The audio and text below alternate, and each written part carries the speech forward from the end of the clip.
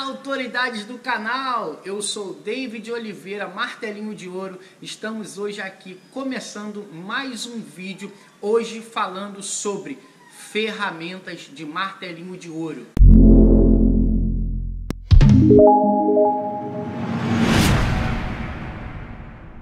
Antes de começar este vídeo, eu quero apresentar a empresa Sturtes Adesivos é a empresa do meu amigo Gilvan.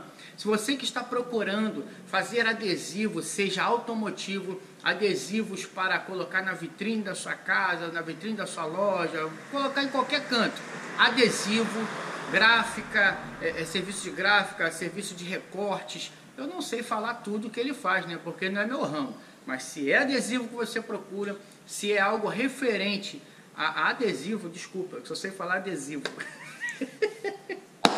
Gilvan Stuart Adesivo.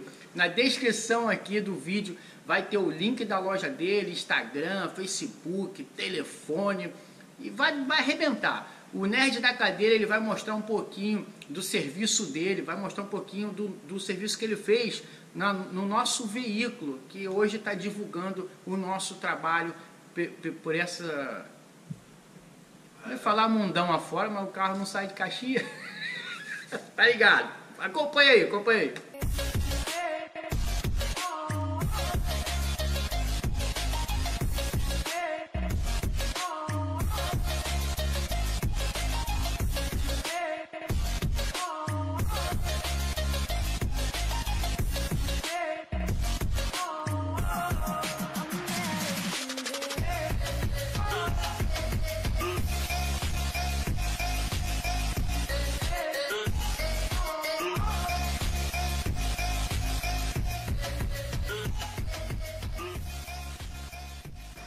Então, amigos inscritos do nosso canal, em pedidos especiais, um pedido especial, né, de, de um inscrito nosso, falou assim, Dave, eu, eu tô com vontade de é, entrar no ramo de martelinho de ouro, mas como fazer, como começar, onde procurar, que ferramenta usar, que ferramenta, como é que é esse negócio? Então, antes de mais nada, para que eu revele para vocês as ferramentas, mais ou menos, né? Não vou falar todas as ferramentas que são muitas, mas antes de mais nada, eu quero que você, ó, toque o sininho, dê o like, se inscreva no canal, porque o seu comentário é muito importante.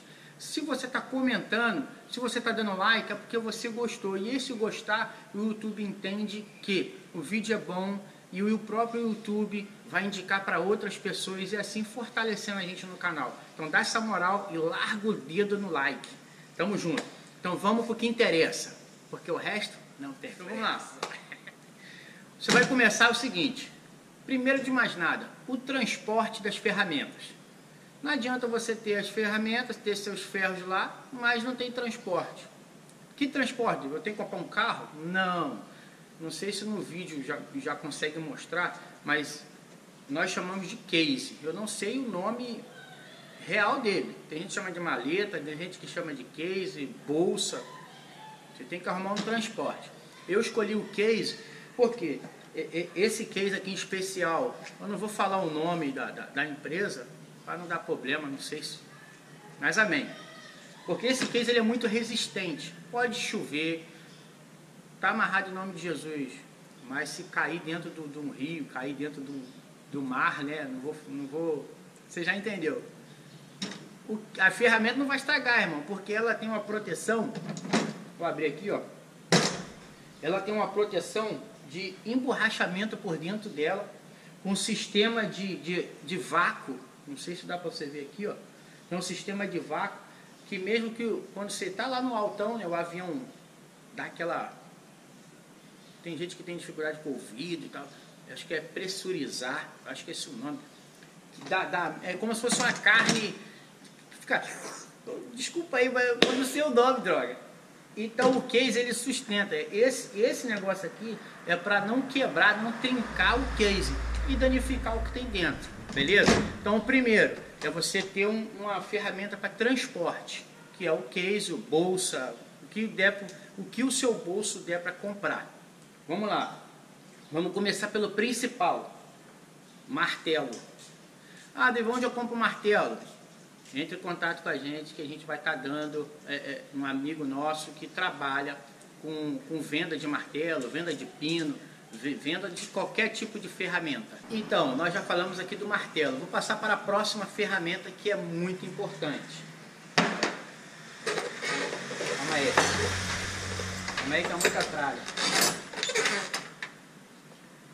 Bom, eu chamo de placa.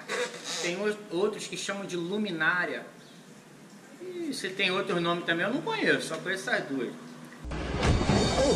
Para que que serve, David? Sem ela, pô, cara, é impossível você zerar um amassado. Sem ela é impossível você tirar um amassado. Tem pessoas, é isso que dá no, no ter estúdio, né? Mas tem pessoas, voltando para cá, que dizem que faz sem placa com a luz do sol. Uau! Amém. Ó, você liga lá, não sei se mostra legal aí. Vai ligar ela, ela tem, te dá opções de três LEDs amarelo, como também três LEDs branco, e assim você consegue fazer um serviço com, com excelência, né? Ela tem, pô, é, é elétrica, a bombinha, ligou a bombinha, já suga em qualquer parte do carro, no plástico, no vidro, na lata, dependente, tem carro que é alumínio, então essa bombinha aqui, essa placa é top. O único defeito que eu acho dela, que alguns martelinhos vão concordar comigo, é o peso. Só Deus na causa. Vou passar para o próximo. Essa ferramentazinha simples, que muita gente usa, é, aquele negócio, né, tem problema e tal, usa para muleta, a muleta, a muleta, o seu nome. Mas esse aqui a gente usa para poder segurar, apoiar o capô, apoiar a porta, a gente vai fazer, apoiar uma tampa de mala, muito importante. Que mais? Vamos lá para esse cara aqui, que eu chamo de cambão, ou haste, não sei qual é o nome dela. Eu não estou mostrando todas, é que eu estou mostrando aqui que eu vou pedir para o mestre da cadeira colocar depois uma foto, não sei se tem condição de colocar uma foto de todas juntas. Porque eu uso apenas sete ferramentas para fazer qualquer tipo de amassado. Que isso, Dave? Sete ferramentas. Você não precisa de comprar um monte de ferro para ficar caro, porque o martelinho de ouro tudo é caro. Então você, as ferramentas que eu estou mostrando aqui, você já consegue fazer a maioria dos amassados, ok? Então esse aqui é um cambão médio que você consegue fazer ali para a lama, às vezes a porta, consegue fazer pela porta, porta traseira pela tomada. É, se a porta da frente não tiver vidro, você consegue fazer por cima. Ah, tá, mas e aí? Como é que faz? Irmão, qualquer coisa, entre em contato com a gente que a gente ensina a fazer. Esse cara aqui, ó, bombinha, para que, que serve? É, como eu fui ensinado, né? Como eu fui ensinado, um amigo que me ensinou, tá bom? Ele, ele sempre disse pra gente para evitar na desmontagem do carro, porque infelizmente a gente pode dar sorte de quebrar alguma coisa. Então eu sempre trabalho no foco de não desmontar nada. Então use essa bombinha para fazer serviços na parte da porta, né? Coloca ela ali entre o vidro e a parte da lata fecho aqui o registro dela e vou dando a pressão, ela vai inflando e assim ela afasta o vidro que vai me dar a opção de pôr ferramenta. Junto com ela tem essa ferramenta aqui que a gente chama de Glacave, protetor de vidro. Aí vai, vai da, do, do, profissional, né? É, eu me arrependo de ter comprado isso daqui porque eu paguei 80 reais nesse negócio. Eu fiquei muito revoltado. Né? E logo em seguida veio um vendedor que me quer me vender outro a 40 reais. Então imagina.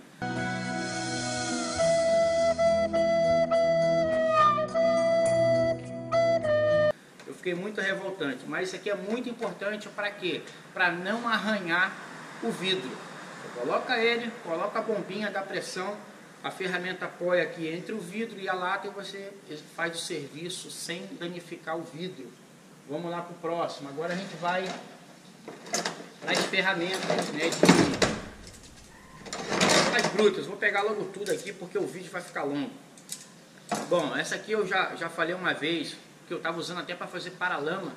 Você consegue mostrar no vídeo, eu chamo ela de, de 90 graus pelo, pelo ângulo que ela tem, né?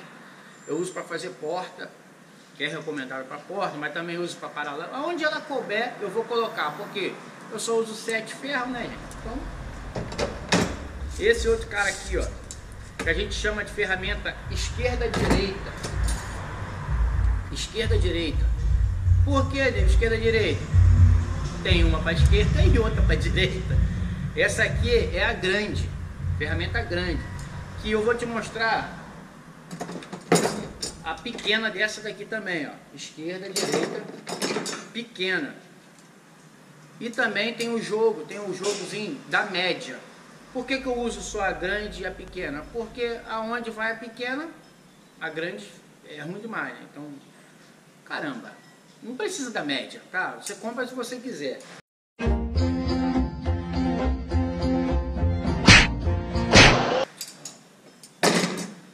Ferramenta Pádua, ela é, ela é fina, ela entra entre a travessa. Aonde a 90 graus não chega, ela vai chegar, tá bom? É, existem várias também, vários modelos de pádua ou rabo de peixe, não sei como é que as pessoas gostam de chamar ela. Então, existem mais finas, existem mais grossas, porque para fazer na parte onde tem travessa, ela é muito importante. Essa aqui é a média. Tem também a pequena, você vê que ela é mais fina que a outra.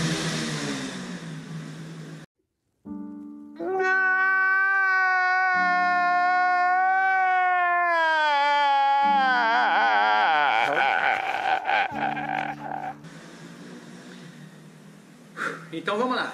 Então essa é a pequena, pado pequena. Que dá para você fazer ali capu, é mais capu, tampa de mala, né? Porque ela te dá uma, uma ótima opção de você fazer as travessinhas ali.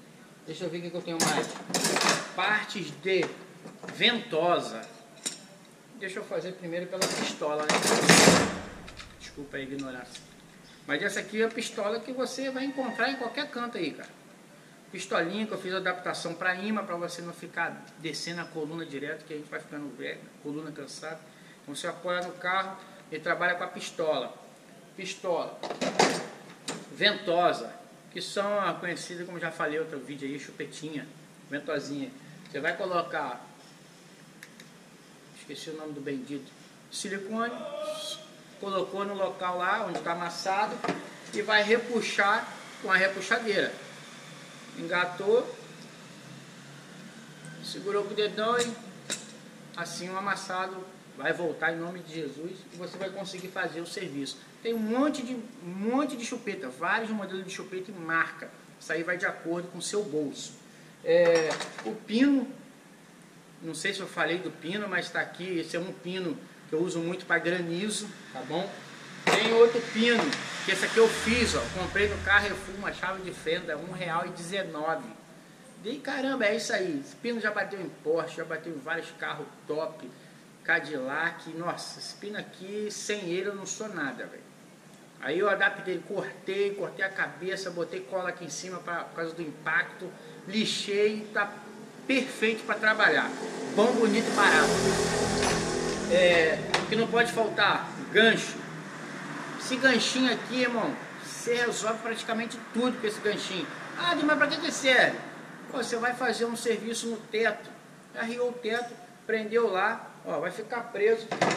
De repente vai pegar o cambão, engatou, tá preso, te dá o apoio para você fazer a alavanca e levantar o amassado em nome de Jesus com excelência. Bom, e agora a dica principal é essa colher. Que é isso, David? Não pode faltar, não pode faltar essa colher. Não pode. Por quê? Na hora da boia, na hora do almoço, vai comer com o quê? É com a colher, meu amigo. Quero chamar a sua atenção do seguinte, que você assista esse vídeo, faça aqui as suas perguntas no comentário a respeito de ferramentas, se você tem alguma dúvida, como, o, o é, como utilizar, como melhorar, mas só, só, só existem essas sete ferramentas que foi mostrada, Qualquer dúvida, digite aqui no canal. Ih, rapaz. Qualquer dúvida. Rapaz, garrou. Cacildes, velho. Exatamente. Isso. Qualquer dúvida, comente aqui nos comentários. É mesmo, é? Assim a gente vai. vai hum, na verdade. Escreva aqui nos comentários a sua dúvida e assim nós vamos fazer outros vídeos referente a ferramentas de acordo com a sua dúvida, com o seu comentário. Graças a Deus saiu, pai. Você que ficou até o final deste vídeo, eu quero chamar sua atenção para este vídeo que o YouTube indica e para este vídeo que é o vídeo mais acessado do nosso canal.